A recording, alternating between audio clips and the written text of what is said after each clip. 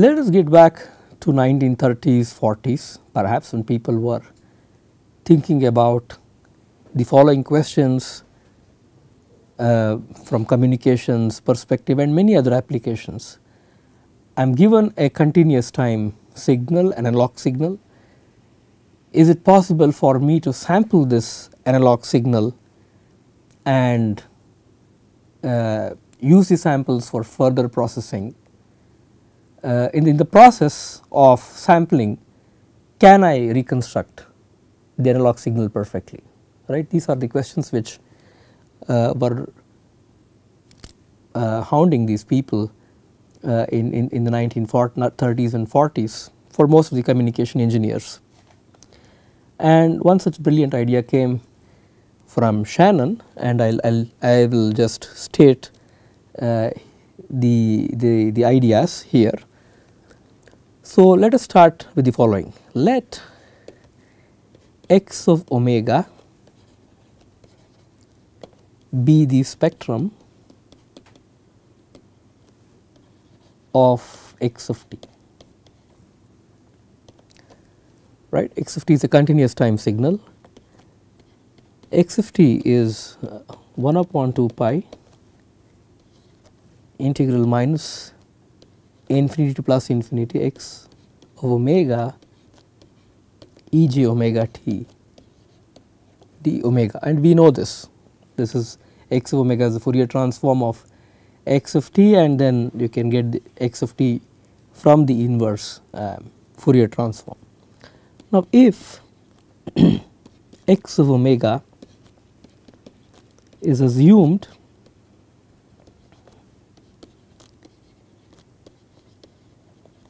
to be 0 outside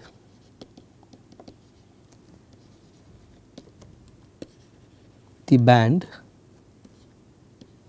modulus of omega is less than 2 pi times b right? Then we can write x of t as 1 upon 2 pi integral minus 2 pi b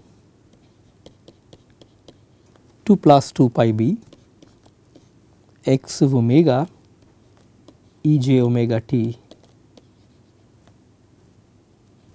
d omega. Just straightforward. I mean you can think about why we need to make this assumption here about the band limitedness. I mean most signals are band limited. I mean you, you think about um, speech signal, you, you think about most natural signals they are band limited and even if they are not band limited by filtering you can make them band limited. Okay. Now, let small t be n upon 2 times b. Therefore, I can get the samples x of n upon 2 b as follows. So, this is basically 1 upon 2 pi minus 2 pi b to 2 pi b. So, basically the continuous time t is replaced by n upon 2 b. this is x of omega e j omega n upon 2 b d omega right. Now, you have to really interpret this.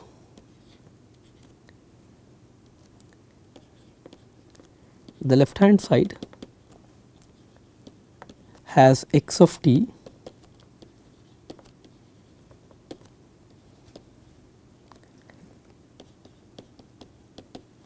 at the sampling points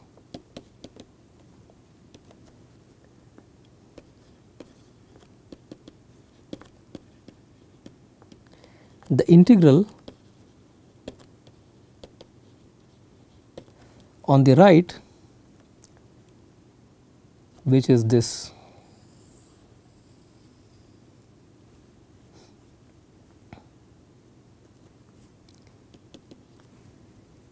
Is essentially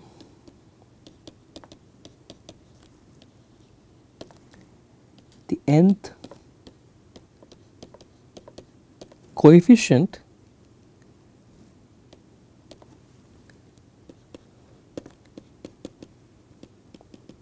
in the Fourier series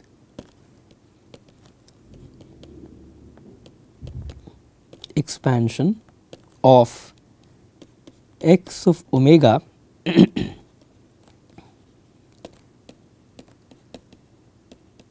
over the interval minus b plus b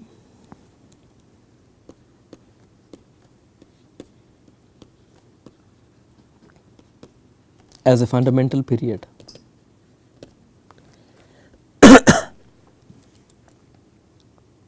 right? I mean this is the way we interpret this uh, this equation.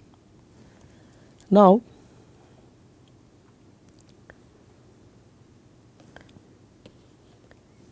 x of n upon 2b I think this sequence that we have for n equals 0 1 so on these determine the Fourier coefficients in the series expansion of x of omega. Now, since we assumed that x of omega is 0 for frequencies greater than b and x of omega is determined fully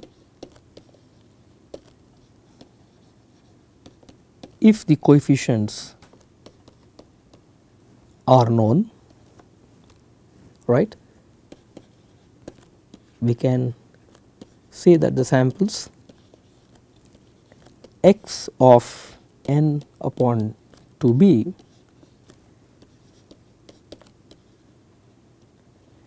determine x of t completely. right. We started off with the spectrum and then linking with the continuous time signal then basically sampling and then interpreting this as basically the Fourier coefficients the series expansion of the spectrum right. So, one of the questions that naturally comes to us is how do we construct or if you want you may add the word re reconstruct x of t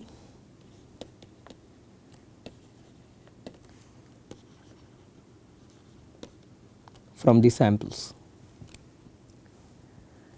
Right our intuition tells us we should have some kind of interpolation filters right? We should we have these samples and there should be some interpolation filter which has to go through these samples and it has to be the right interpolation filter if we were to reconstruct this right.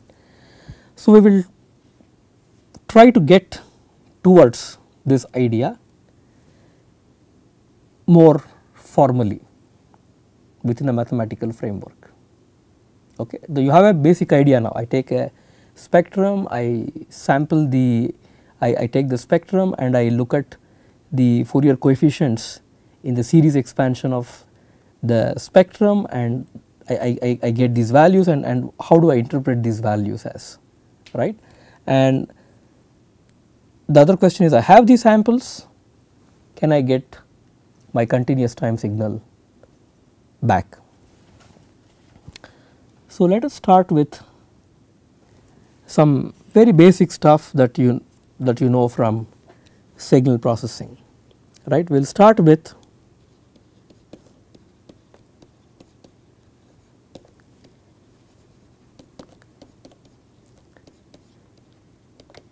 with the Dirac comb um, function, comb because it is really a comb, I mean Dirac function because a delta function. And if you have a train of the delta functions it is basically like a comb right? Comb that you use for your combing your hair. Now summation n equals minus infinity to plus infinity delta of t minus n times capital T is this Dirac comb sequence and the sequence is periodic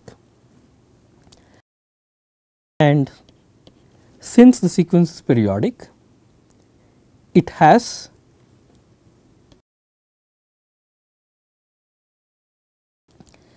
a Fourier series representation. I mean you can just get the exponential form right you can you can write it as some Cn times e power j 2 pi k upon capital T times small t and you can you can figure out this coefficient Cn right? And if you if you solve for this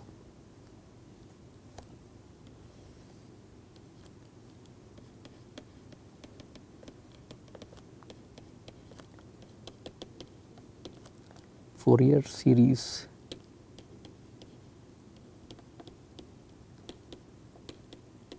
representation. Okay, now this Cn you can compute it to be 1 upon t.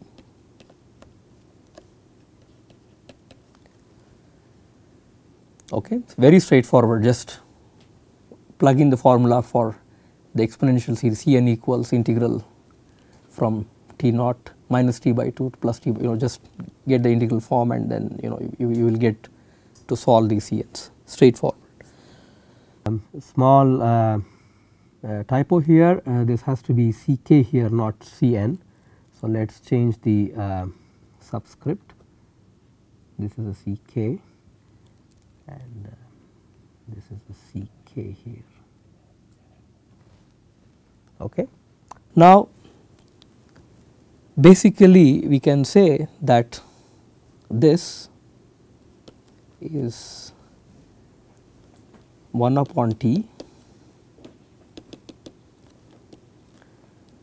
e power j 2 pi k upon capital T times this t and this is basically Fourier pair and you can write this is 1 upon t summa k equals minus infinity to plus infinity delta omega minus k upon t.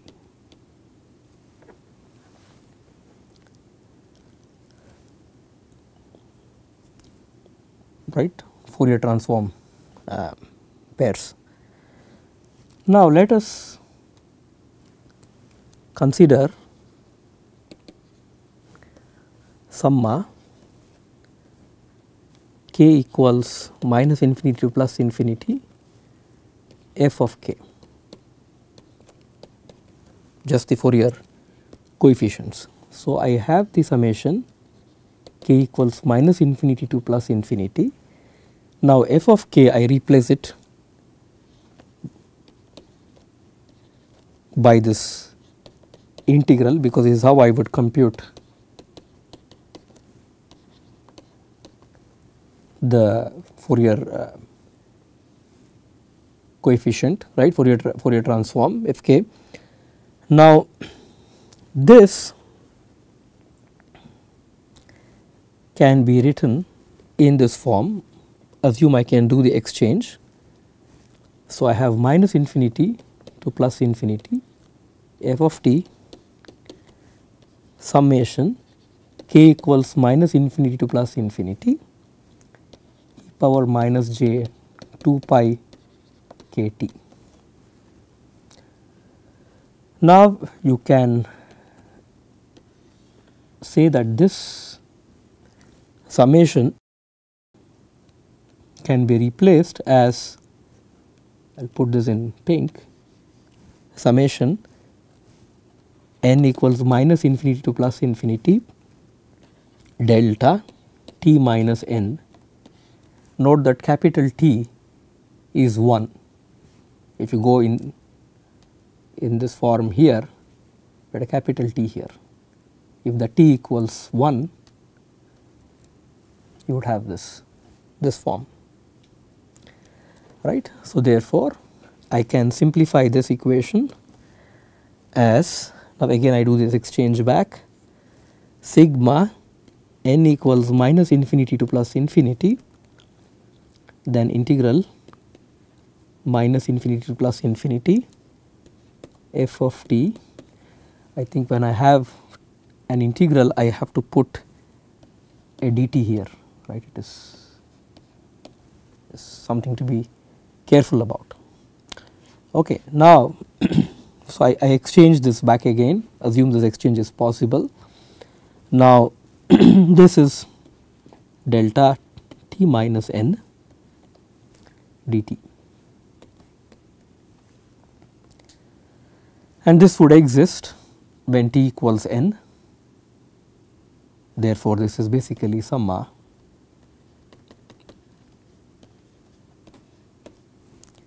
f of n. Right? We are now sort of we have linked the time samples to the frequency sample the summation right. Now let us sort of go one step forward similarly consider a periodic sum s of omega plus k upon t this is basically sigma k equals minus infinity to plus infinity. I have a spectrum here. Basically I take a, some periodic copy essentially of the spectrum right? This is what is happening here. This is how I would interpret this sum. Now this is basically Fourier because Fourier transform is a linear transform right? This is I can I can take the Fourier here. Fourier of s of t e power minus j 2 pi k upon capital T times small t. This is just basically the modulation property right. So, this can be interpreted as the Fourier of S of t is taken outside because there is no index k here. Summation k equals minus infinity to plus infinity right e power minus j 2 pi k upon t capital T right. Because the Fourier transform is linear I can just this is this is I am making use of linearity here at this step. Now you can interpret this as t times summa n equals minus infinity to plus infinity delta t minus n times capital T right because we because from our relationship from starting with the Dirac-Combs sequence. Now this is basically the Fourier transform of S of t times capital T times sigma n equals minus infinity to plus infinity delta t minus n times capital T. Now these things are existing for t equals n times capital T right otherwise it is vanishing. So, therefore, this t I can replace as n t and roll everything in the summation. So, I can write this as the Fourier of summation n equals minus infinity to plus infinity s of small n times capital T times capital T times delta t minus n times capital T right because this exists at t equals n t not otherwise. So, therefore, I will I will pull this here. Now, I can say that the the last part is basically summa. N equals minus infinity to plus infinity t times s of n times capital T times the Fourier of delta of t minus n times capital T. And I can interpret this t times s of n t that is I am having samples of the signal